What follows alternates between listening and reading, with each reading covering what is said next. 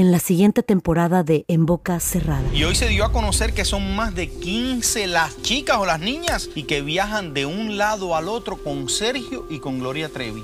Déjame llevarlo a un hospital, por favor. Creo que es lo mejor que puedo hacer. En las condiciones en las que Sergio lo obligaba a vivir, no hubiera soportado el siguiente invierno en España. Lo que nunca se dijo sobre el caso Trevi Andrade, por Raquel Mariboquitas. Escucha en boca cerrada, en el app de Euforia o donde sea que escuches podcasts. Bienvenidos al podcast del Gordi y la Flaca. Somos Raúl de Molina y Lidia Estefan y en los próximos minutos escucharás las noticias de la farándula más picantes del momento. Y bueno, ya va a empezar el podcast del Gordo y la Flaca con las mejores entrevistas a actores, músicos y por supuesto tus celebridades favoritas. Te voy a decir una cosa, me está mandando un tremendo chisme aquí. Ok, ya ustedes saben lo que tienen que hacer. Ya empezó el mejor show del mundo. Y ahora el mejor momento, el más esperado, el hombre que ha viajado al mundo tres veces, no, cuatro veces, que ha comido con los mejores chefs del mundo, que es un buen esposo,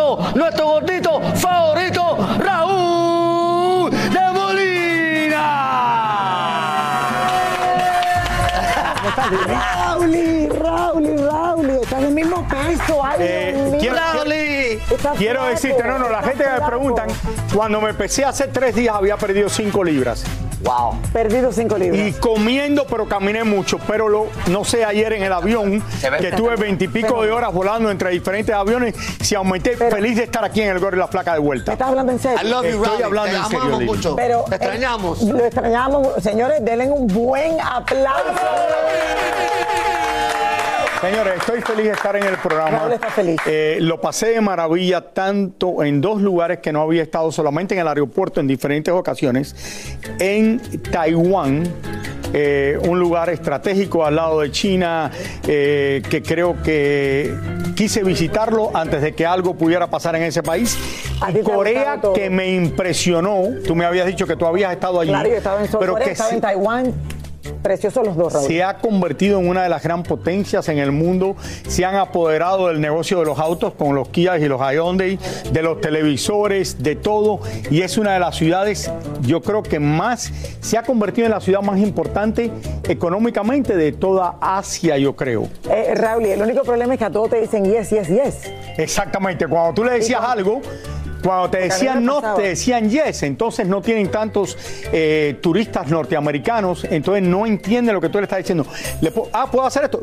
Yes, yes, yes, yes. Entonces después tú, ya, no, no, no, no, no. Entonces no, no te entienden. Ese era el problema más serio. Es- esa- y te pasaba en todo, o sea, Eh, me constantemente. pasaba en No una en persona todo el tiempo. que uno va, entonces, yes, yes, yes, yes, yes. Entonces, ah, ok, entonces estamos de acuerdo. No, no, no. Y Lili, antes de comenzar el programa, quería hablar un poquitico de lo que está sucediendo, porque tú lo sabes, y yo no he estado en el programa en casi 16 días, y eh, la situación que pasó en Israel, el ataque a Israel, donde han muerto ya más de 1.300 personas, niños, un concierto que había donde más de 250 personas, muchos jóvenes de la edad de tu hijo, de mi hija, de que estaban en un concierto por la paz, murieron, señores, muchos de ellos los quemaron. Nunca había sucedido esto en Israel y esto me preocupa mucho. La gente está hablando también de los palestinos que no son o tienen nada que ver con esto, porque esto es el grupo eh, Hamas, que es el que controla el famoso Gaza Strip, que no es un lugar tan grande. Estábamos hablando Lo estábamos hablando hoy que de, de este tamaño, de un ¿Cuál era? 40 millas de ancho por unas 70 o 80 de largo. Jamás es el que ha hecho esto, son terroristas, llevan años en el poder y es una pelea que nunca va a terminar entre Israel, que tiene el derecho a defenderse, eh, y Hamas, y utilizan a muchos de los palestinos que viven allí. Por otro lado, hay palestinos viviendo en el mundo entero. Señores, tú conoces a muchos, yo conozco a muchos, soy también tengo muchísimos amigos en Israel que he estado hablando con ellos por teléfono y lo triste de todo esto es que tú ves la gente ahora protestando en el mundo entero y yo creo que este es el problema más serio que ha sucedido en el mundo en los últimos años y especialmente para este país. El que pensaba que la guerra de Ucrania era algo serio, se lo voy a poner en términos del gordo y la flaca. la guerra de Ucrania es eh, una cosa demasiado pequeña, una, como dirían, una bobería comparado con lo que puede pasar ahora en el Medio Oriente y que esto nos pudiera afectar a todos, señores. Hay que seguir Esperamos orando, que haya orando. una paz mío, entre.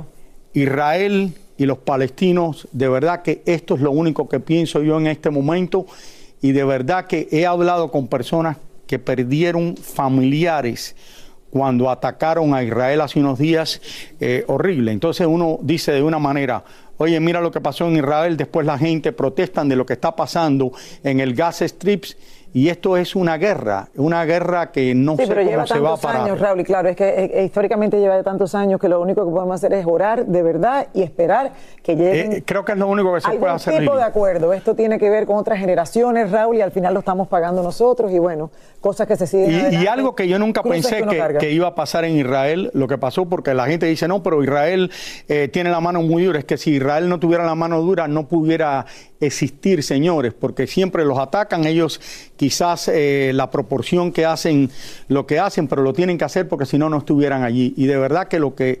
De, de las historias que yo he visto, los videos que he visto de Israel, no lo puedo creer lo que sucedió. También, por otro No, lado, lo que ha quiero re- pasado que no se pueden poner las imágenes. eh, Horrible, Raúl. exactamente. Por otro, Pero quiero bueno. decir que, señores, lo que pasó en Estados Unidos ayer, esto es increíble, que un niño palestino lo mató un hombre por el simple razón de que decía que era palestino, cuando quiero decir exactamente lo que he dicho antes, los palestinos no son los culpables, los culpables son los terroristas de Hamas y de Hezbollah que están también en el Líbano, Lili. Y Así esto Byron dice que va a ir el presidente de Estados Unidos a Israel en los próximos días y ojalá que esto no termine en una tercera guerra mundial si se mete Irán en todo esto. Bueno, es lo único que puedo decir porque de verdad que el- lo, si te pones a analizar es la situación más difícil que ha pasado Estados Unidos en un buen tiempo. En un buen tiempo. peor pudiera ser que la guerra de Vietnam. Pero bueno, en- en- entre otras cosas, Raulis, porque yo sé que tú me llamaste, estoy súper preocupado con todo esto.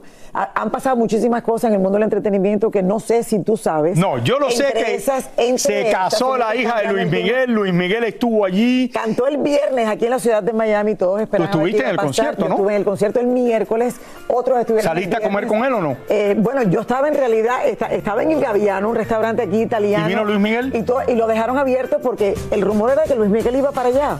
Al final, eh, no, no fue el viernes pasado. Yo lo vi tosiendo, o sea, él todavía no se ve como que la voz la tiene perfecta. Pero bueno, eh, pero, pero imagínate, tenemos más adelante, señores, todos los detalles de la boda de, de la hija de Luis Miguel, pero... Soy Raúl de Molina y estás escuchando el podcast del Gordo y la Flaca. Vamos a comenzar con el escándalo del momento. También vi lo de Takachi, Tecachi, que lo han metido preso en República Dominicana. Hace solamente unas horas, señores, Tecachi eh, 6ix9ine fue arrestado en República Dominicana para responder ante la justicia sobre la supuesta golpiza que le dio con otras personas a dos productores que trabajaban con su pareja, Yailin, la más viral. Eh, Diamond, la mafia, quien dio a conocer este escándalo, habló con nosotros desde el lugar de los hechos que quedó destrozado y ensangrentado. Vamos a pasar vía satélite con Paloma Almonte para que nos cuente qué fue lo que sucedió. Paloma, en vivo desde República Dominicana, adelante. Adelante, Paloma, te escuchamos. Hola Lili, Raúl, saludos a todos en el estudio. Raúl, bienvenido también. Y sí, les tengo noticias, señores. Ustedes saben que el viernes por la madrugada, pues se hizo bastante viral en redes sociales el caso de Tecachi 69, rapero estadounidense que habría golpeado a los productores del artista urbano dominicano Diamond La Mafia. Y bueno, aquí justamente donde me encuentro, que es la estación de policías regional de La Vega, es el lugar donde está detenido Tecachi 69 desde la noche de ayer. Y bueno, logramos hablar con Diamond La Mafia y esto fue todos los detalles que nos contó acerca de lo que ha sucedido. Veamos. Tecachi 69 fue arrestado anoche en un hotel en República Dominicana por una orden de allanamiento tras ser acusado de agredir a dos productores el pasado viernes en un estudio de grabación. Posteriormente, fue trasladado a La Vega, lugar donde sucedieron los hechos. Diamond La Mafia nos contó que comenzaron a trabajar y 69 no dejaba de llamar y llamar a Yailin por teléfono. Él no hacía creer que estaba en Miami, le hacía creer a ella y era para dar tiempo y él saber dónde ella estaba ubicada para llegar. Entonces, cuando ella le manda la ubicación del lugar, porque por, eso él llegó, por la ubicación, y Yailin dice que Va, yo me voy, ya yo no puedo grabar así, estoy descontrolada, ve mañana para Santo Domingo, me dice. Nos despedimos ahí abajo, yo me voy para mi casa.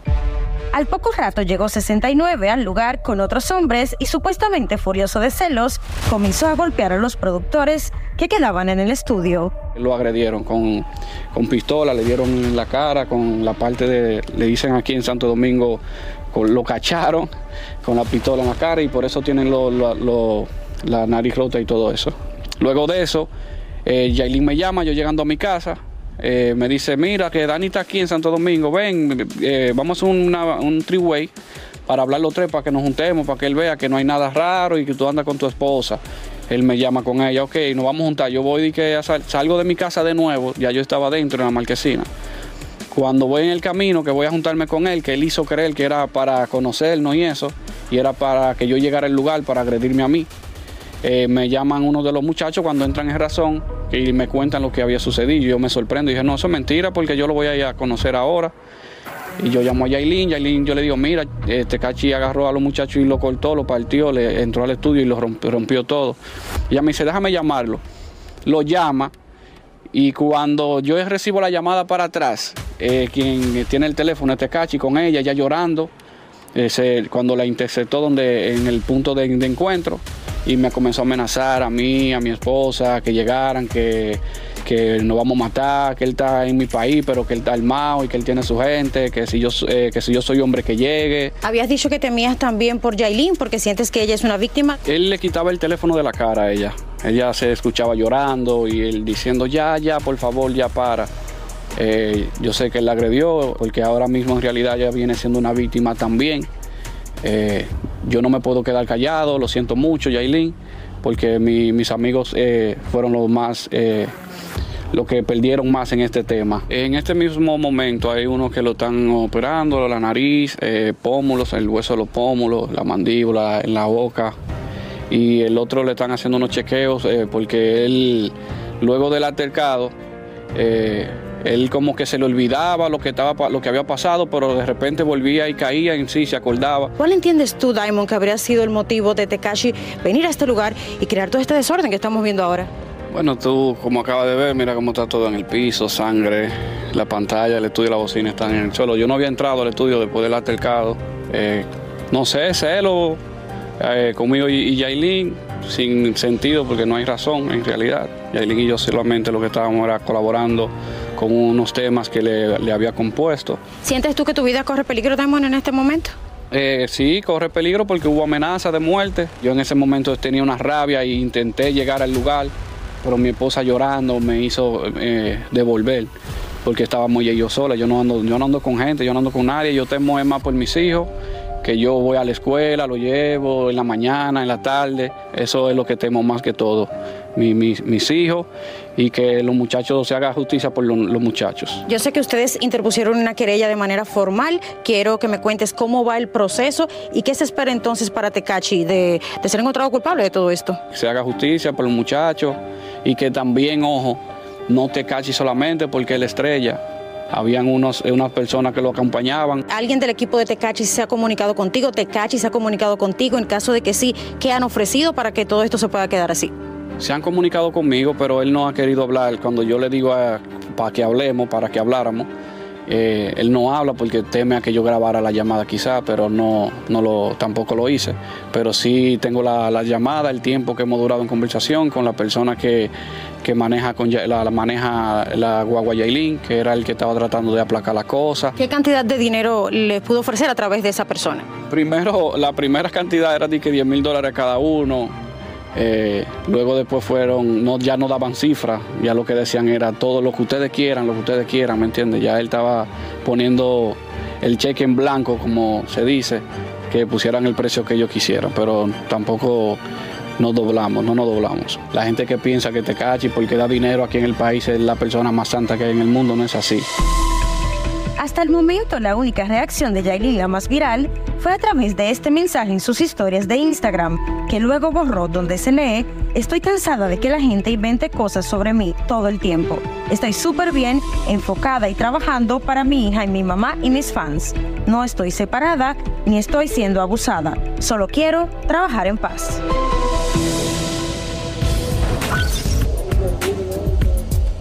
Bueno, señores, ahí pudimos escuchar que los agredidos van a llevar esto hasta las últimas consecuencias. De hecho, en la mañana de hoy, la policía llevó a cabo una rueda de prensa y aclararon que Tecachi 69 fue capturado, no como trascendió en redes sociales de que él se había entregado, sino más bien que se realizó un allanamiento al hotel donde se encontraba en Samaná y se rumora que estaba en esa localización porque justamente por mar tenía planes de tomar una lancha para salir del país vía Puerto Rico. Ya en lo adelante, la fiscal estará interrogando a Tecachi para tener más detalles de este caso. Y entonces ahí sabremos qué condena le espera y los agredidos, por supuesto, están pidiendo ocho meses de prisión preventiva en contra del imputado. Así que soy Paloma Almonte, regreso con ustedes al estudio y estaré llevándoles todas las incidencias de lo que ocurra con este caso tan delicado. Paloma, Paloma, antes de despedirte, ¿dónde está Tecachi en este momento?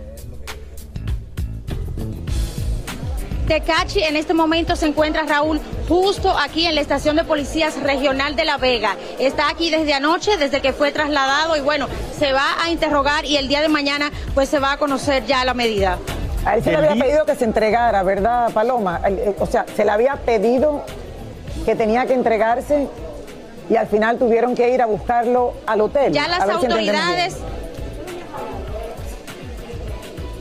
Así es, ya las autoridades habían hecho un llamado a que se entregara por la vía más favorable, eh, un llamado que no fue acatado y siete horas, señores, de trabajo arduo para lograr capturarlo y se hizo un allanamiento justamente en el hotel en el que se encontraba en la provincia de Samaná, aquí al este de la República Dominicana. Eh, Paloma, déjame preguntarte también, cuando tú dices que está en la estación de policía y que va a estar ahí por lo menos hasta mañana, ¿Tecachi está en este momento preso? Tecachi en este momento se encuentra bajo disposición de las autoridades, está detenido, no puede salir de aquí, en tanto sus abogados están buscando la vía de ver cuál sería pues esa forma eh, a nivel judicial de escapatoria para esta sentencia que se le puede esperar a Tecachi si se logra comprobar que estuvo involucrado en esta golpiza que se le dio a los productores de Diamond La Mafia, Raúl, así es. Espera, nosotros estamos viendo un video aquí eh, increíble es la policía. Esto es cuando te cachi y lo están llevando a la estación de policía, que está esto rodeado de como un SWAT o algo de esto allí, ¿no? Así es, mucha gente, muchos policías, un operativo que duró siete horas para lograr capturarlo y fue traído aquí a la provincia de La Vega, que es la jurisdicción donde le corresponde, porque fue aquí que ocurrió justamente el hecho, que tuvimos imágenes exclusivas de cómo quedó el estudio prácticamente destruido después de este altercado. Eh, Paloma, ¿cómo se sabe que el plan de Tecachi era tomar una lancha, un barco y escaparse a Puerto Rico?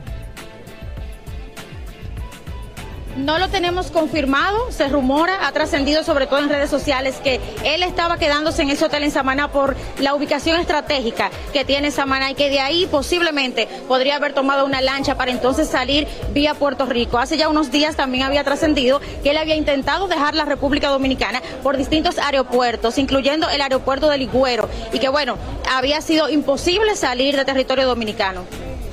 Bueno, muchísimas gracias muchísimas por esta gracias, Estaremos súper pendientes. Raúl iba a ser interrogado en el día de hoy por las autoridades. Y bueno, ¿qué necesidad tenía Tecachi de meterse en eh, todo este problema? Es increíble, lo estábamos eh, hablando el viernes, Raúl, y cuando llegué aquí al estudio y me doy cuenta que esto está pasando y vemos las imágenes y lo vemos a él entrando al estudio de los productores, acompañado de dos o tres personas de seguridad o amistades de los productores. Y Tecachi ha estado en este programa y tú lo has visto hablar, que parece la persona más pacífica, del, mundo, cuando ha estado aquí. Así es. Bueno, le deseamos lo mejor, señores. Nos vamos a pausa, pero se casó la hija de Luis Miguel. Luis Miguel estuvo en la boda y le vamos a contar todo, lo que sucedió. Todo lo que pasó. Vamos a una pausa, regresamos con más del gordo y la flaca. Y ahora regresamos con el show que más sabe de farándula, el podcast del Gol de la Plata.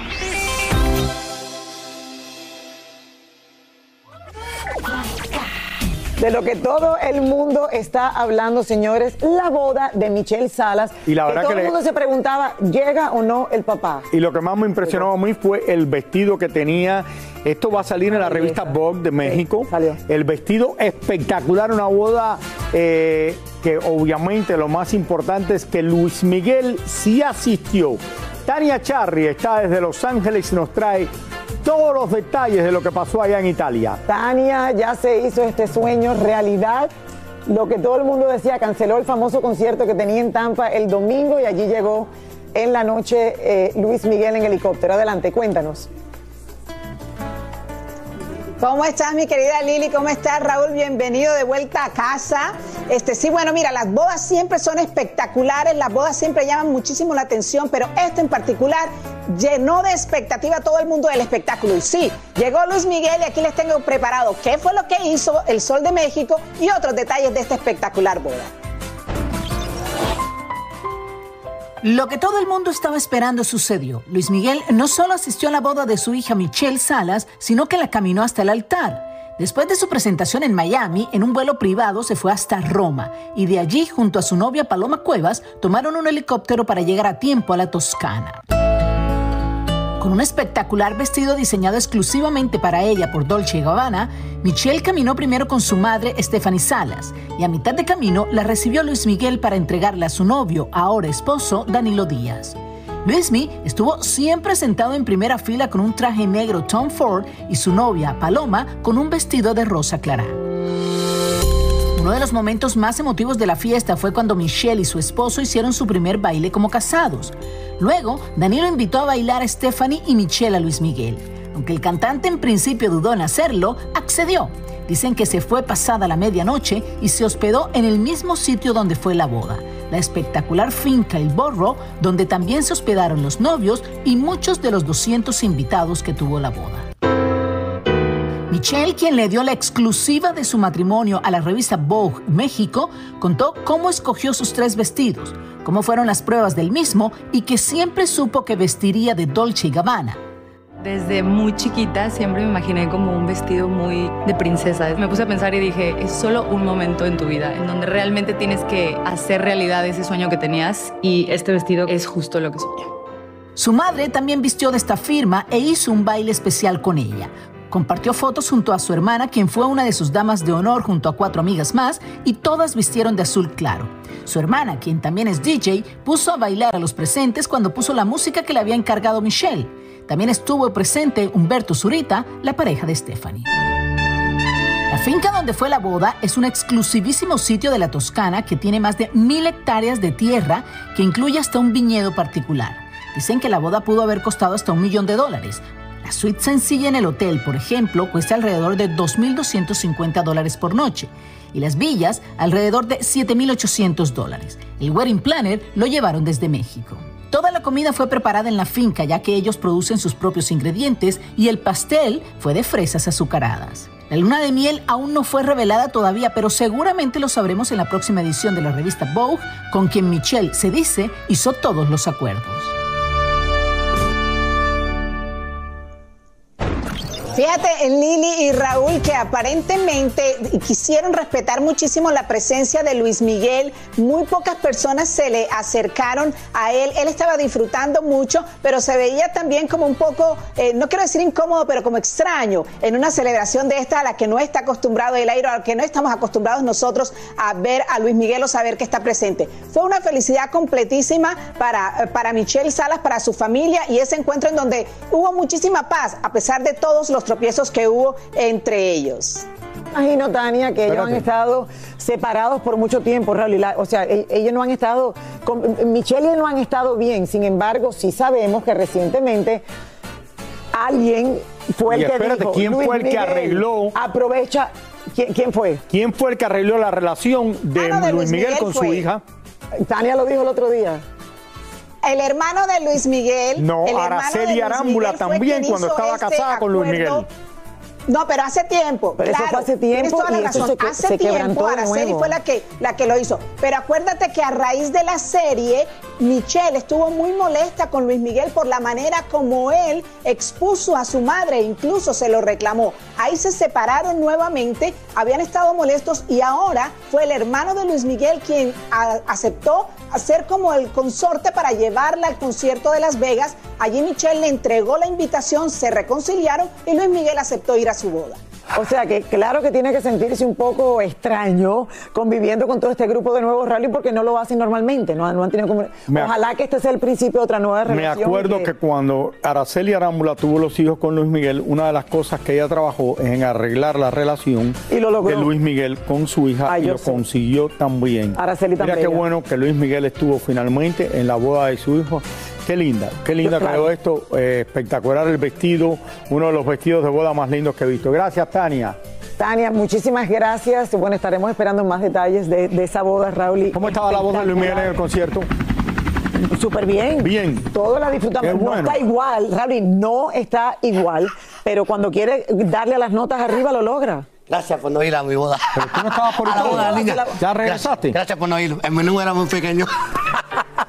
Me hubiera salido tres veces más caro. ¿Qué te- Bienvenido. ¿Estás, estás insinuando que tú pagaste la boda, Luismi? No sabemos quién pagó la boda. Muchísimas gracias por escuchar el podcast del Gordo y la Flaca. Are you crazy? Con los chismes y noticias del espectáculo más importantes del día. Escucha el podcast del Gordo y la Flaca primero en Euforia App y luego en todas las plataformas de podcast. No se lo pierdan. En la siguiente temporada de En Boca Cerrada. Estando en Brasil, él mencionó que si alguna de nosotras llevábamos a la policía antes de que entraran, él primero se mataba.